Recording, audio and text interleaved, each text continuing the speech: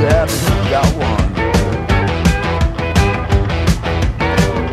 Just closing your eyes so you can see. So you can see.